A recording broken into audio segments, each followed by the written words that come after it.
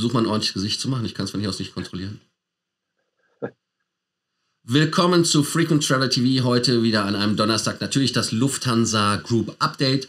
Was gibt es über die Lufthansa Gruppe aus dieser Woche zu erzählen? Ganz einfach, der Service wurde umgestellt in der Economy Class auf diese Snack-Bezahlvariante, gab dann konsequenterweise Stress mit dem Personal. Dann der Service aus Südafrika kommt, wurde reduziert und angepasst an Omikron. Und was wollen wir noch erzählen? Lufthansa hat eventuell Interesse an A350F Frachtern. Was hat das aber mit Qatar Airways zu tun beim Lufthansa Group Update? Das sind die Fragen, die wir Frage. heute. Ja, das sind Fragen, die wir heute angehen. Oder haben wir noch ein anderes Thema, Mario? Wir lassen uns überraschen, ne? Wir lassen uns überraschen. Ich würde mal sagen, Intro ab. Geht los.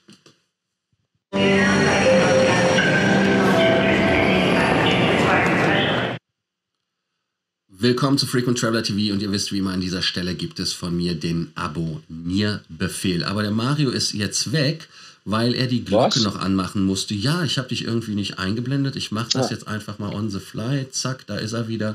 Wir drehen uns auch nicht. Ich stehe heute auf der Mario-Seite. Damit ihr wisst, warum die Glocke wichtig ist, dann seid ihr auch pünktlich wie Mario da. Und natürlich weiter geht's mit dem ganzen Liken von unserem Beitrag und ganz, ganz wichtig, kommentieren. Danke für die Kommentare, äh, danke für die Besserung, Genesungswünsche, die auf WhatsApp und aber auch in den Kommentaren waren. Dann die Anmerkung mit dem T-Shirt habe ich bekommen. Ich habe heute ein Fly Dubai T-Shirt zum Lufthansa Group Update genommen. Also insofern thematisch passend, oder Mario?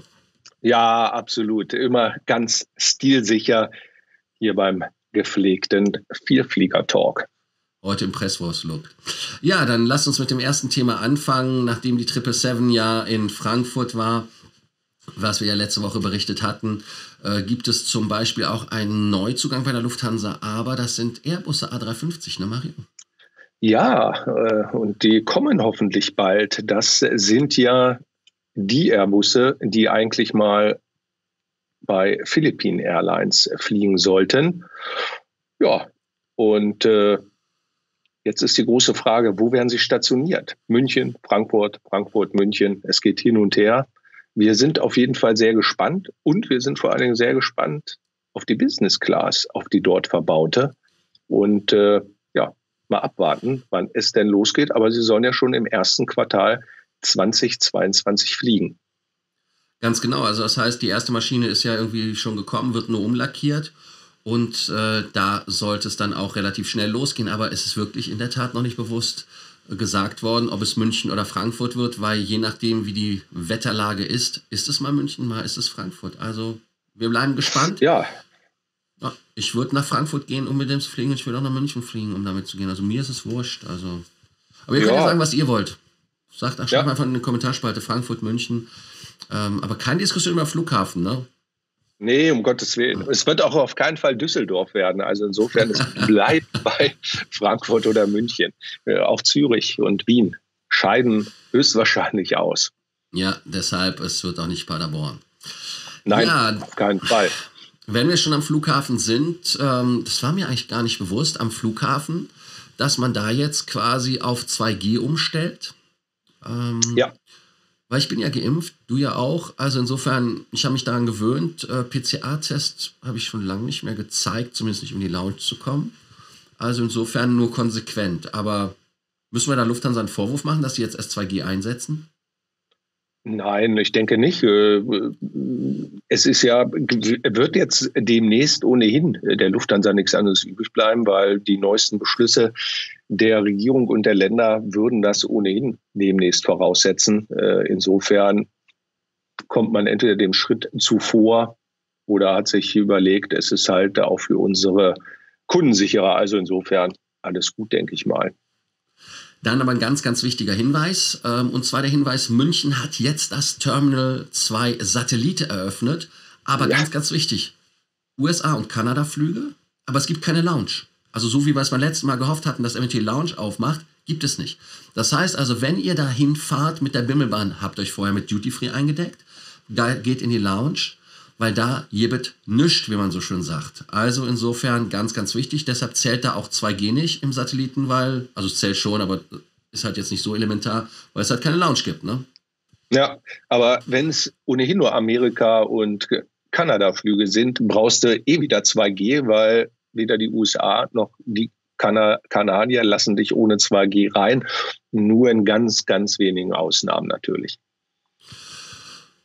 In der Tat. Und wir haben heute den 2. Dezember. Übrigens, äh, um nochmal kurz äh, auf Emirates einzugehen, heute ist der 50. Jahrestag der Vereinigten Arabischen Emirate. Äh, nur so als kleiner Hinweis, falls wir feiern wollen. Feuerwerk in Dubai. Ich hoffe, ihr wart auf der Palme und habt euch das Feuerwerk angeschaut. Also insofern das nur als kleiner Service. Und warum sage ich das? Weil man mit der Langstrecke nach Dubai fliegen kann. Allerdings gilt es noch nicht für die Dubai-Strecke, wenn ich es richtig im Kopf habe. Es geht nur für Nordamerika und Asien ja, auf 37 Strecken, ähm, dass man bei on board Snacks hat. Und da haben ja. wir eine eigene Sendung zu gemacht, Mario. Ähm, ich weiß gar nicht, warst du auf der Sendung dabei oder habe ich alleine gemacht? Ich weiß es nicht mehr genau. Ich wieder. weiß es auch nicht. Es waren so viele Sendungen, ja. Ich glaube, du warst alleine. Ja, äh, ich bin ja zum Schluss gekommen, da ich etwas verwundert war, dass da Gummibärchen und äh, andere gesunde Kost verkauft wurde, äh, weil man ja so umweltfreundlich ist. Ja. Also, also insofern, ähm, hast du da noch eine Meinung zu? Ja, ich weiß nicht, wir hatten das Thema ja schon sozusagen im Kleinen auf den Europastrecken. Äh, meine Meinung hat sich da nicht so, nicht so ganz geändert. Grundsätzlich da ist ja noch etwas, wir hatten das, glaube ich, im Zusammenhang mit dem No-Alkohol äh, mehr äh, auf, auf der Langstrecke. Ähm, sofern es noch äh, auch unbezahlte Gerichte auf der Langstrecke gibt und das sozusagen ja, ein persönlicher, ein persönliches Update für den einen oder anderen Fluggast ist, find, ist jetzt nicht so verkehrt. Kann man sich außer Chicken oder Pasta nochmal was anderes kaufen, wenn es denn überhaupt an Bord ist. Das ist ja mal die große Frage, ne? Ganz genau. Wobei die Sachen, die ja da gekältert sind, sind ja eher nicht in einem rottbaren Bereich von 24 Stunden. Also insofern sollte es ja ordentlich gekältert sein, weil das nicht wirklich ja. kaputt geht. Catering ist, ist auch das nächste Thema. Lufthansa Südafrika. Man fliegt weiter nach Südafrika mit den Konzerntöchtern auch. Edelweiss fliegt ja, Swiss fliegt nach Südafrika, Lufthansa aber auch. Aber der Service wird eingeschränkt, Mario. Also das will man ja jetzt machen nach neuesten Erkenntnissen, wenn ich das so richtig gehört habe. Ja, also äh, ja, man reagiert darauf äh, auf, auf die neue auf die neue Virusvariante Omikron. Omikron, genau. Aber ob das jetzt äh, alles so viel Sinn macht, ich weiß es nicht. Es soll weniger Kontakte halt geben zwischen äh, der Crew und den Passagieren, was natürlich äh, grundsätzlich nachvollziehbar ist. Ähm, aber ich habe keine Ahnung, ich bin kein Virologe, ob, ob dieses Omikron, äh, diese Omikron-Variante nun ansteckender ist als die ohnehin ja wohl schon sehr ansteckende Delta-Variante. Ich weiß es nicht. Natürlich geht äh, die Gesundheit der, der Crew und natürlich auch der Passagiere vor, aber ja, man muss es, wie die Lufthansa sagt, wohl beobachten und äh, ja, mal schauen. Ja, ganz genau. Also ich denke mal, dass das auch eine Reaktion natürlich auf die Crews sind, die halt den Garderobenservice oder aber auch andere ja. Service-Bestandteile halt nicht machen wollen, um halt diese Kont Kontakte oder Touchpoints, wie das so schön heißt, zu ja. reduzieren. Und ähm, ich glaube, dass das auf so einer Südafrika-Strecke durchaus Sinn macht, wenn wir sehen, dass bei 600 Passagieren 61 positiv getestet waren, wobei man jetzt die Story von den Kollegen, die da irgendwie aus dem Hotel getürmt waren, die Spanier und Portugiese, äh, von ja. beiden Seiten gehört hat. Also einmal, dass es ein negativer Antigen-Test, ne, Entschuldigung, ein positiver Antigen-Test war, aber alle darauf folgenden Tests negativ waren, inklusive PCR-Test. Und ja. dass man halt eher gefängnismäßig gehalten wurde. Also es ist ein sehr, sehr zweischneidiges Problem. Ich selber ich, also ich habe ja am Anfang gesagt, hey, lustig, sind sie sogar weggerannt. Ähm, fand das auch unverantwortlich, aber jetzt, nachdem ihr die Geschichte von deren Seite gehört hat, schwierig. Und daran sieht man halt, wie Südafrika, aber auch die Testerei halt immer mit Vorsicht zu genießen ist. Ja, Dann, absolut. Ja, also dann muss man halt wirklich vorsichtig sein. Ich weiß es nicht. Mario, du musst dich ja auch testen lassen in Amerika, ne? Du musst ja PCR-Test jetzt 24 Stunden haben, ne? Ja, nee, es geht auch ein Schnelltest. Also zumindest laut letzter Info. Schnelltest oder ah, okay. PCR-Test, aber einen Tag alt sozusagen. Was war es nochmal? Pittsburgh, nicht, nicht Philadelphia, der Streichkäse. Nein, Pittsburgh, Pittsburgh. Pittsburgh, Pittsburgh, Pittsburgh. Pittsburgh, Pittsburgh Steelers, glaube ich. So.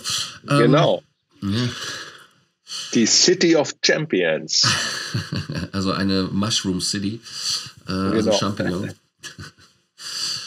Dann als nächstes Thema haben wir natürlich die Eurowings. Ganz einfach, Eurowings ist nach Skandinavien gegangen, hat da den Markt versucht aufzumischen und versucht das auch, nachdem die Finnair ja auch bei der SAS in Stockholm Langstrecken anbietet, hat das die Eurowings auch gemacht. Aber die Freunde der SAS sagen, so nicht, mein Freund. Und die nee. wollen kontern. Die wollen kontern mit Embraers und mit A220 eventuell. Also entweder oder. Und Mario weiß ich ja, wie er darauf reagiert, äh, was der Anko van der Werf äh, da macht und soll. Ob er jetzt die Embraer nehmen sollte oder den Airbus A220.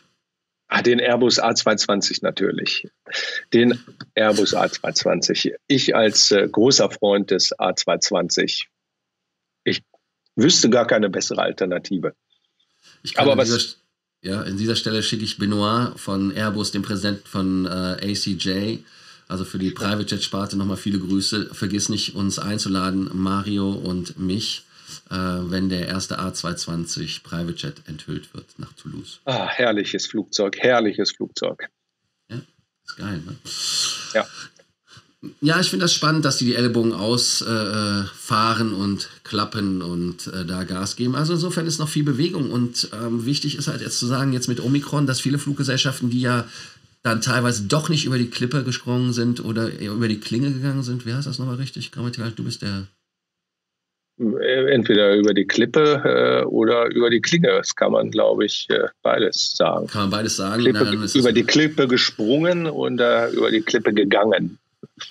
Ja, ähm, dass halt jetzt durch Omikron wieder viele Sachen ähm, zurückgespult werden und damit natürlich auch viele Probleme wieder von vorne anfangen und Fluggesellschaften da dann Probleme kommen. Und die Lufthansa, die ja eigentlich relativ gut dasteht und auch, auch nach Aussagen besser dasteht als vor der Krise finanziell, dass die Knete dann doch relativ schnell wieder zu Ende ist. Also da müssen wir wirklich vorsichtig sein, was da ja, passiert. Ohne Frage, ohne ja. Frage wie gewonnen, so, äh, nee, wie gewonnen, so zerronnen. Äh, man weiß ja auch nicht, wie es jetzt tatsächlich weitergeht.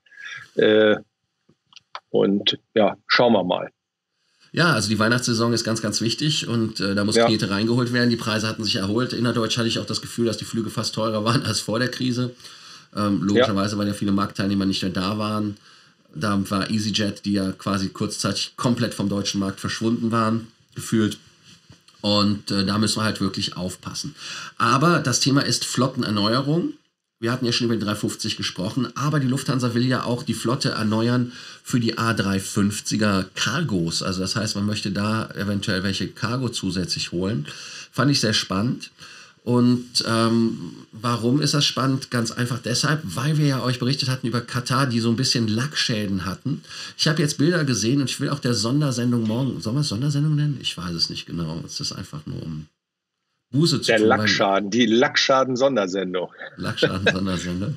Lackschaden-Sondersendung. Ähm, ich muss mich von meiner Seite etwas erstmal entschuldigen oder zurücknehmen, ehrlicherweise. Warum? Ganz einfach. Ich hatte immer so spöttisch gesagt, ach, der Barker wieder, ne? Man ist ja bekannt in, in Katar und Doha dafür, dass man halt einer der ist, der kniepig ist und der auch gerne mal Leute einfach wham bam abschmuggelt ja. für, für nix. Und der hat ja auch mal Flugzeuge nicht abgenommen, weil er einfach gesagt hat, das ist einfach scheiße. Aber nachdem ich die Bilder gesehen habe, ich werde sie euch morgen zeigen, Spoiler, Spoiler, ähm, finde ich das schon problematisch. Und jetzt fragt ihr, was hat das mit Lufthansa zu tun? Mario, möchtest du das aufklären? Nee, das klärst du mal auf. Was hat das wohl mit Lufthansa zu tun? Dass Lufthansa, Finnair und andere Fluggesellschaften schon in 2016, glaube ich, war das, äh, an Airbus geschrieben haben: Hey Freunde, hey, wir haben auch Lackschäden. Ist ein bisschen da problematisch. Blättert ähm, gerade was ab. Genau, blättert was ab. Und also Airbus sagt ja ganz knallhart, das ist ein Dekorschaden, da passiert nichts und so weiter und ja. so fort. Ähm, die Behörden am Golf sagen, nö, begrauenden Maschinen. Ich habe jetzt nicht die genaue Zahl im Kopf. Äh, ich glaube, 20 von 53 oder sowas sind bei Qatar gegroundet.